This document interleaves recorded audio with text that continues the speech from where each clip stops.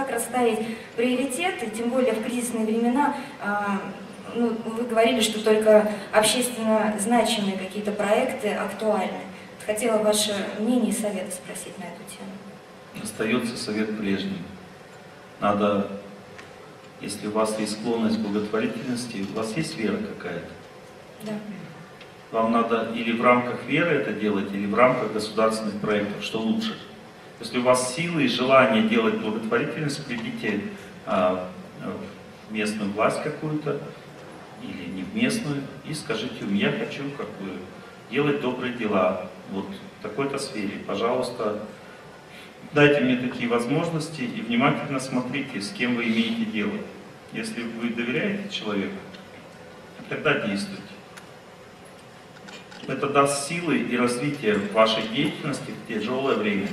А если просто вы женщин поучите водить машину, тоже классно. У вас подружек много появится хороших, вы будете. Там темы немножко другие, конечно. Тусоваться хорошо. Это тоже женщине не надо, потому что она без общения не может жить. А возможно ли из этого сделать, ну, такие сейчас я вижу аналоги курсов э, для женщин там, по развитию, там, пусть женственности или еще каких-то направлений творческих, но на платной основе? Или это не Из стоит курсов по вождению? Нет, курсы по вождению здесь ни при чем. А, Я просто сказала, Конечно, что можно. У вас, у вас очень сильная Венера, и вы вообще любите женщин. Вы с ней быстро входите в отношения, дружите с ними. Если вы будете делать такие курсы, то это будет успешно очень для вас, сто процентов. Независимо от времени, обстоятельств. Да, вы будете успехом пользоваться в этой деятельности, без всякого сомнения.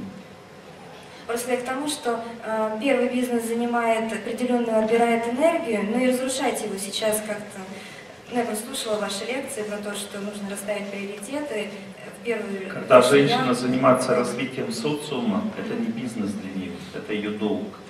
Потому что когда женщина развивает социум, она, допустим, обучает детей, или школу, допустим, организует, или она, допустим, э, делает какие-то социальные проекты для пожилых людей, для а, в целом для кого-то, да, больницу какую-то там содержит, помогает лечить людей там своей, своей, своими средствами или своим влиянием, то это и есть то, что должна в обществе делать женщина. Она не должна выживать, развивать бизнес, она должна направлять свою энергию власти и влияния в любовь.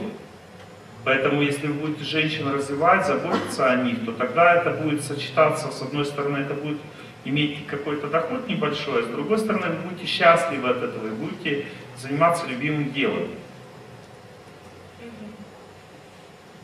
Что просто с первым направлением делать? Уходить от него постепенно? Нет, ни в коем случае. Да?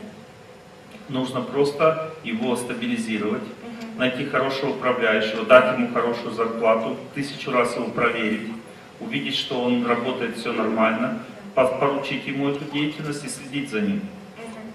А самой включиться в то, что должна делать женщина. Спасибо, сформулировали четко. Спасибо.